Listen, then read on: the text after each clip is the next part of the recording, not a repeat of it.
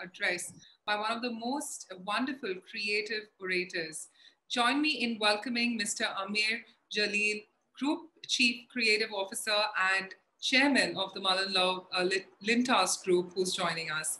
Amir has uh, been part of the uh, part of building brands like Micromax, OLX, Havells, and has conceived and led the journey of Tata Tea's Jage, uh, Jaago Re movement.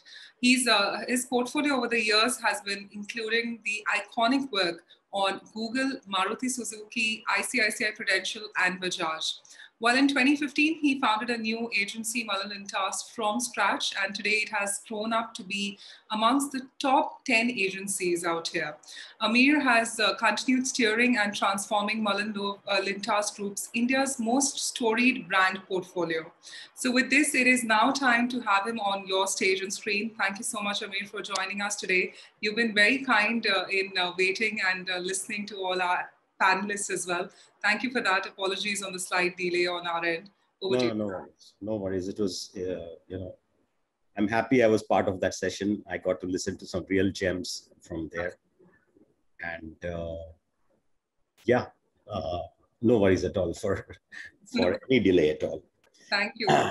yeah. So this, Samir, over to you. Thank you for joining us. Yeah, yeah, yeah.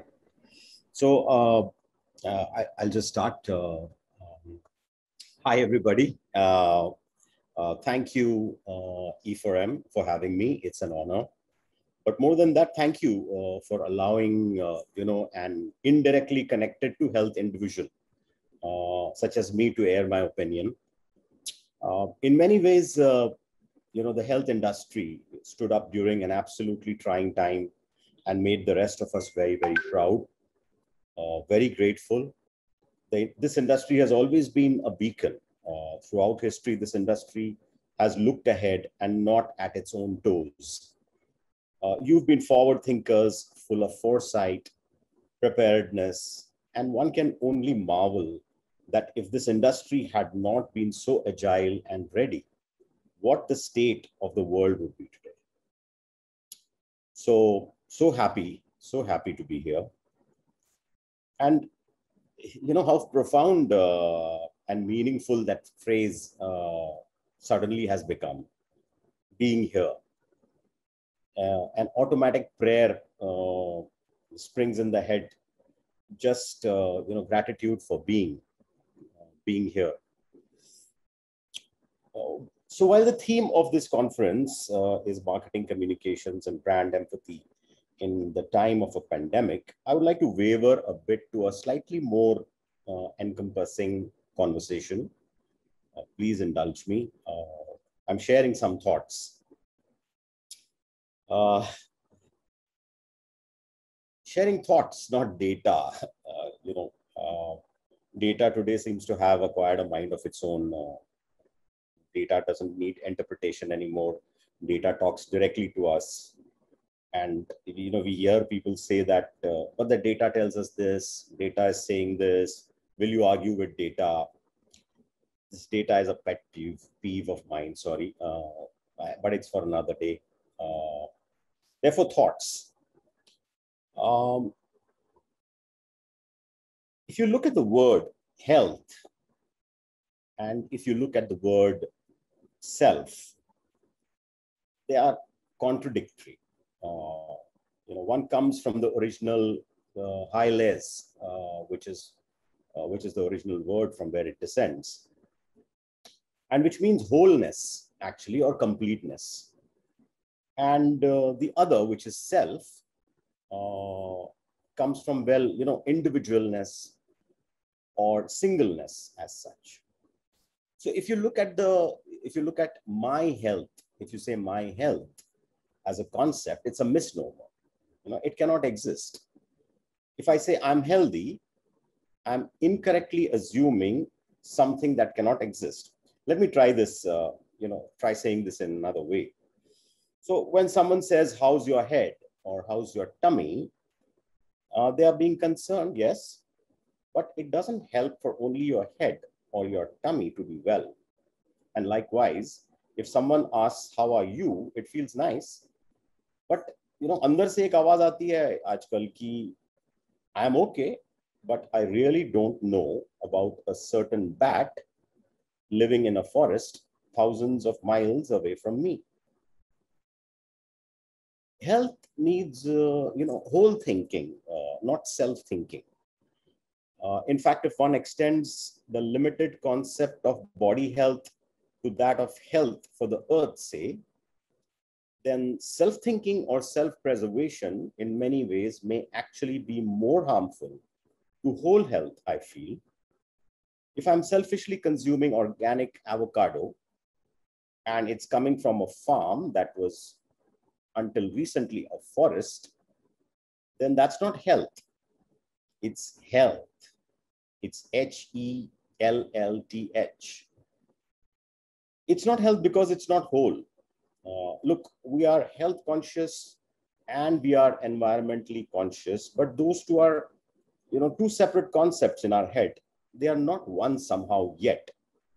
We look after our body and its health in some ways when we are not deep frying it away at least. And similarly, some of us at any rate do a bit for the well-being of the planet. So I was saying that, uh, you know, we could fuse the two and somehow evolve to planet health uh, as an idea. And uh, if and when we truly start believing that, then every time someone asks you, How are you? you'll not be able to say, I'm well, thank you, because, well, you know the state of the earth. I'm a communicator. I'm not a doctor, not a medical expert, but I do know about uh, mental viruses. This virus is a thought. If it goes and sits in your head, it'll program your thinking, your behavior. If you start to really believe my health is nothing without planet health, that'll change your actions to those that are not selfish, but wholeish. And that will be immensely valuable to all of us. Many of us here, while realizing the immense human toll and economic tragedy, are also benefiting from the opportunity of the pandemic. Data is selling like crazy, home entertainment is selling like crazy, FMCG is going bonkers, e-com or most of it is upticking wildly, insurance is having its moment. We know this, and we are making the most of this opportunity, right? Uh, we are opportunists. And so I asked you to see uh, the biggest opportunity in the pandemic something that will benefit the whole. This opportunity is about meeting the prepared mind. People have seen the impact of their life on their life from a random event. They have understood the connection between disconnected events and its far-reaching impact on us. This is a media opportunity, the biggest available window for everyone to wake up, to realize and internalize the fact that health is not a vacation we take once in a year. Health is not a subject, it's a necessary condition. Health is not an island. You cannot be healthy if your fellow woman is not. If anything, the pandemic has shown us this. Health is not your jagu, jagir alone, it's an overall state of the earth. If your lungs need curing, you have to start with the bat. The pandemic has given us an opportunity to communicate the message of whole health. In a way, it's laid the ground for people to believe that some unconnected Dur Darazka event can reach you, shut your business, ruin your bar going days, kill your loved one. So it's a prepared mind. It has the ability to take in messages we can battle the worst disasters that are flung at us. We can have science, technology, advancements, control over the elements. Everything is effective and everything must be employed. Nothing, however, is as effective as an evolved, enlightened, and aware individual. The loha of the mind, as it were, is garam, and we need to maro the hatora it's not going to be easy equating the self with the whole. For one, self health comes instinctively to us. Swatting a mosquito is an unconscious act. not drinking from a plastic bottle doesn't come as easily to our heads. It doesn't somehow compute as good for our health. Good for the future, yes. Good for our children, yes. Not so much health, but it needs to. For another, the two ecos, economics and ecology, are at cross purposes and how. Who can stop themselves from buying crypto, not profiteering from the boom of the crypto, just because its mining is eating up the energy resources and causing huge pollution for the sake of the environment, or far less for an utterly vague concept as the planet's health is my health, or it needs to. Some acts are completely synced, though. People who have adopted life cycle, lifestyle cycling for one, clearly their health and the planet's health is inextricably linked here. Our every act needs to be like this. Once the concept of outside health and inside health becomes one and the same for everyone, that's when the world will get the most empowered to heal and become stronger. I'm reminded of some extremely illuminating words here. हर जर्रा चमकता है अनवार इलाही से।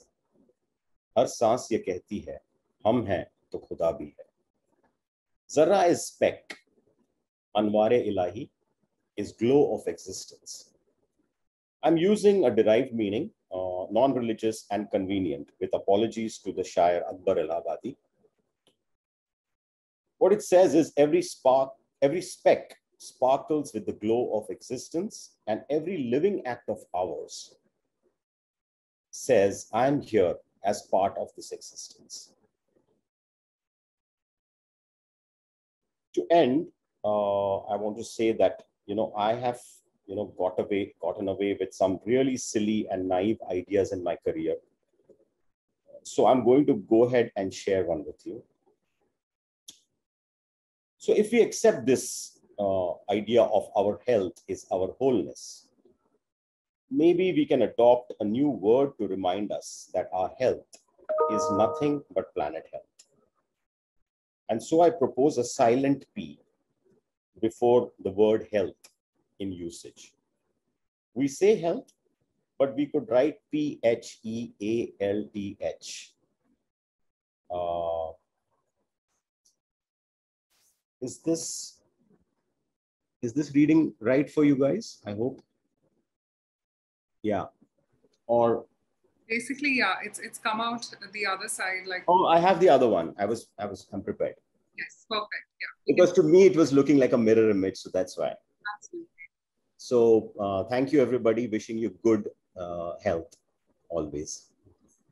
Perfect. Thank you so much. What an incredible address that was. Uh, thank you once again uh, Mr. Jaleel, for joining us today. Thank you. Thank you, everybody.